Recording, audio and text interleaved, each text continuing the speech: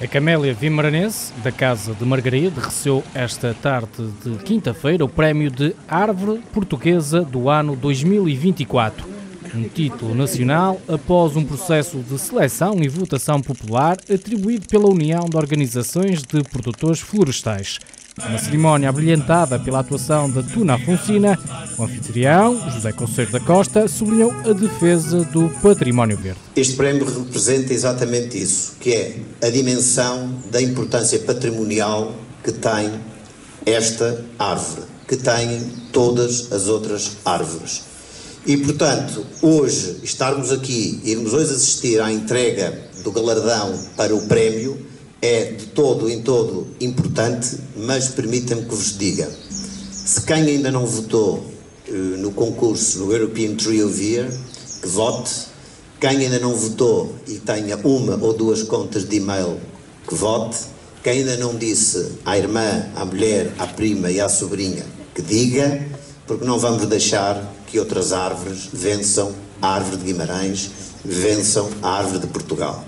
De resto, já está a decorrer a votação para eleger a Árvore Europeia do Ano. Trata-se de uma eleição em que Portugal está representado pela Camélia da Quinta de Margarida, freguesia de Misão Frio, depois de ter ganho a eleição da Árvore do Ano em Portugal. Conceição Santos Silva, da UNAC, destacou a boa prestação das árvores portugueses nesta competição europeia. Este concurso, eh, a UNAC organiza o concurso da Árvore do Ano já desde 2018 e foi o ano em que ganhámos o primeiro lugar e temos esperança que seja este ano também que consigamos lá chegar com, com a Camélia, mas de uma maneira geral, desde 2018, que as árvores escolhidas pelos portugueses ficam sempre muito bem classificadas no concurso internacional. Portanto, estamos sempre no top 5 praticamente das árvores e é onde a Camélia também está hoje e, e estará até ao final do, do tempo. Para nós é particularmente importante a organização deste concurso, portanto, para quem não sabe, a UNAC é uma organização de proprietários florestais privados. O nosso interesse é, é defender as árvores não só no contexto urbano, mas também as árvores num contexto florestal.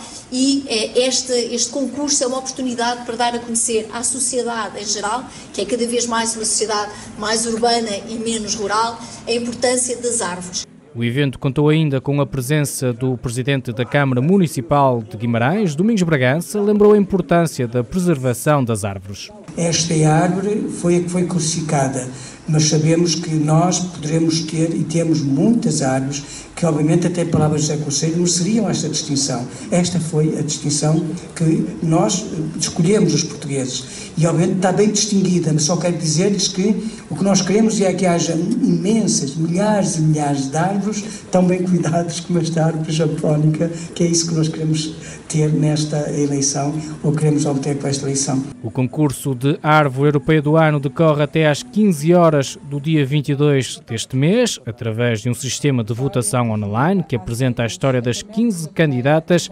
A entrega de prémios terá lugar no dia 20 de março no Parlamento Europeu.